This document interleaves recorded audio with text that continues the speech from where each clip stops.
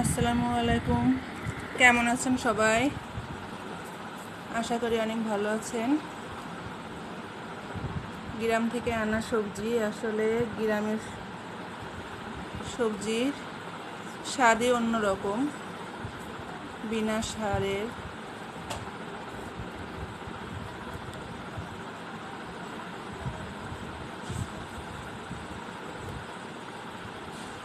এখন লেবুর সময় লেবু, প্রচুর লেবু নিয়ে আসছে, অনেকগুলা।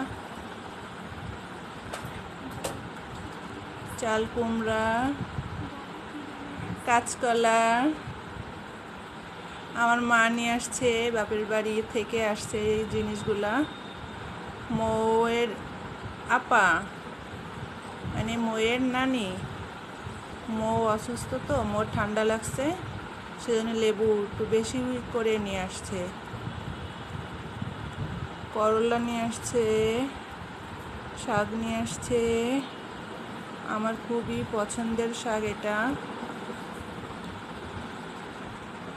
এটা তেঁতুল। তেঁতুলটা আমাদের সব সময় লাগে চটপটির জন্যে।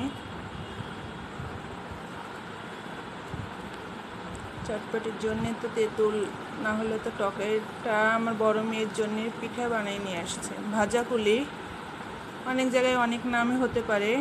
আর এদিকে তাল নিয়ে আসছে,